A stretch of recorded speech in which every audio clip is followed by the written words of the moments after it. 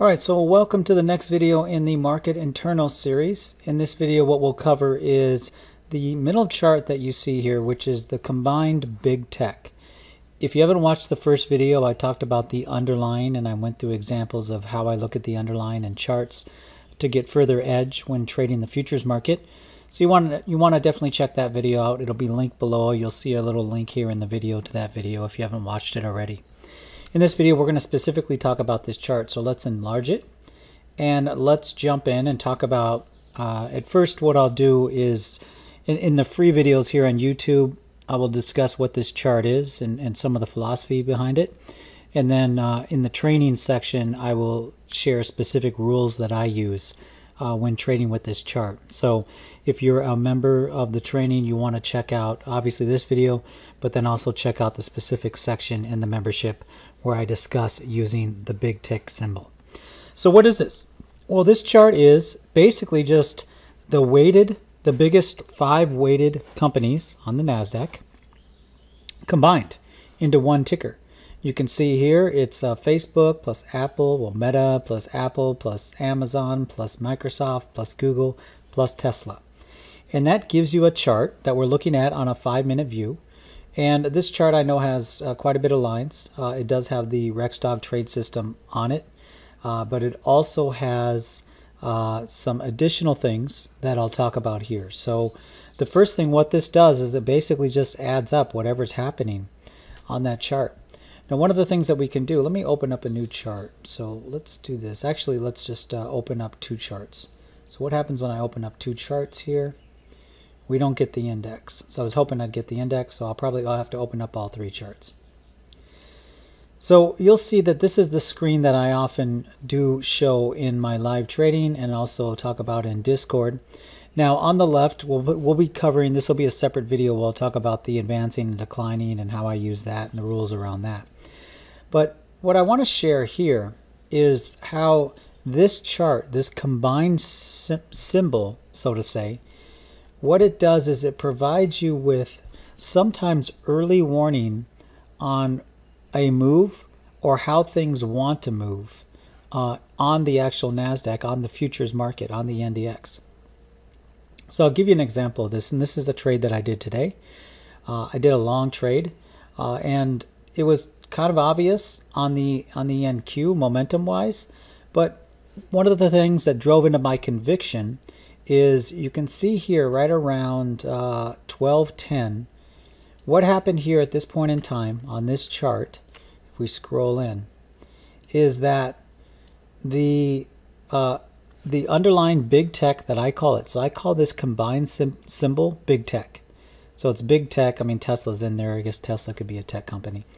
But what I when I went long here right around this time on the NASDAQ this was actually an early fade trade, and this is a prime example of how using this big tech chart gives me an additional edge on answering the three questions. Three questions is, where is price coming from, where does it want to go, and how does it want to get there?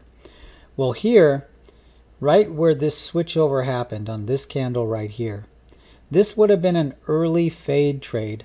It would have been an early, it'd be a fade momentum long, or be a fade long trade that you'd enter here and it's really not the best trade to go long.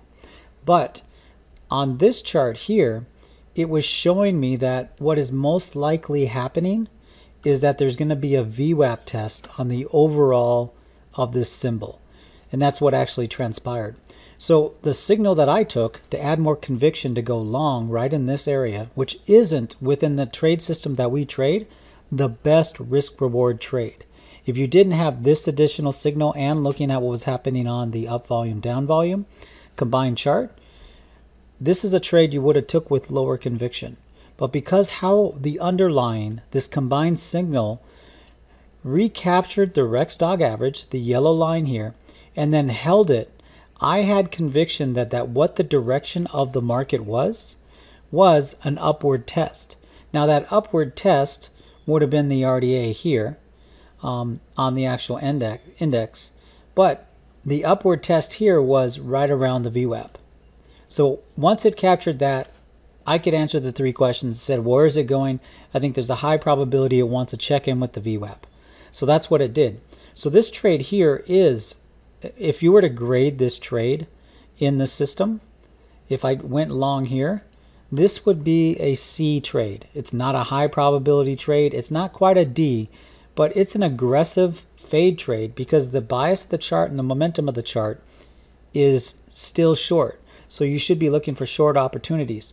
But because of what was happening on the underlying, actually, I went long there and I went long on higher conviction, especially right around the 1230 time frame, right around here when it did recapture momentum and this test held up on the RDA, giving me further confidence that the underlying was giving me early clues on the direction of what the index was going to take based on where is its target.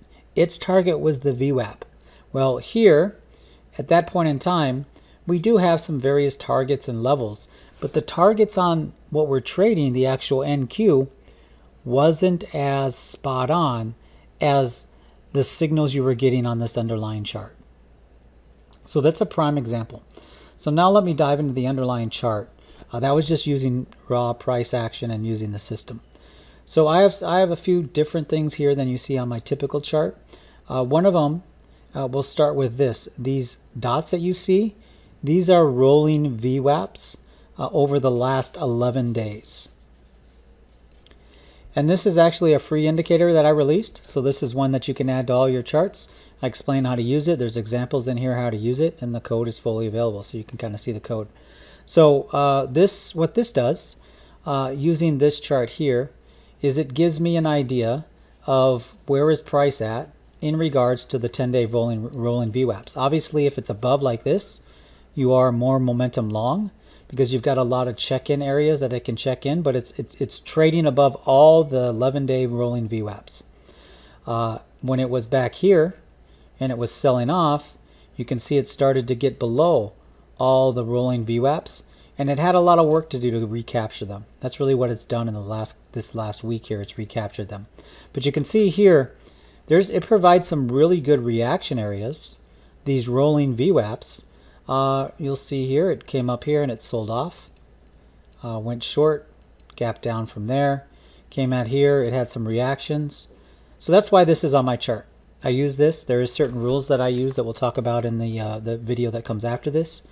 Uh, the other thing that I have on here is I have the full Rexdog trade system. So as, as you see, it's it's using the full Rexdog trade system.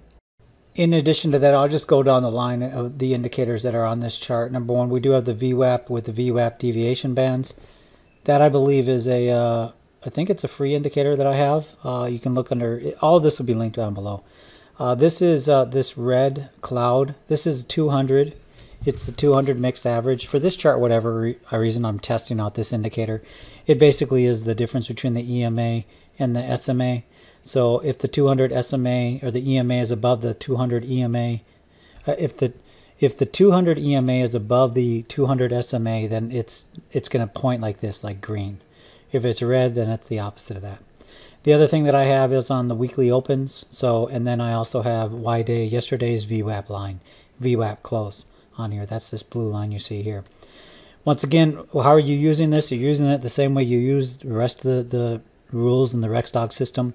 You're looking for momentum, you're looking for bias, you're looking for reaction areas. And uh, everything on this chart, I know once again, uh, for those not used to looking at my charts, uh, having all of this stuff is uh, probably uh, just uh, frustrating. but once again, I have all these on my charts because they something I can look at at a glance. And just like the trade that I mentioned before, it was obvious when it actually started to trade here, close above the RDA, that uh, the target most likely was a VWAP test. It hasn't tested the VWAP since it sold off. So that was my narrative. And it gave me a good 10 to 15 minutes, maybe 5 to 10 minutes early warning on a trade that I wouldn't normally trade heavy. So that's how I'm using this. Um, now the next video in this will be for members only. I'll specifically talk about some rules around the indicators that you see here and some things that provide you with even additional edge. These are sometimes uh, what you're going to learn in the next training video is like is oftentimes you see me time bottoms or tops pretty decisively. Uh, some of that comes from information gathered on this chart and gathered in a very specific way that will be very clear once, I explain it. So that's all. I look forward to seeing you in the next video. Uh, links for everything will be down below. You'll see a link to my website. You can learn about the trade system that I talked about. You can also learn about how to get started. I look forward to seeing you in the next video.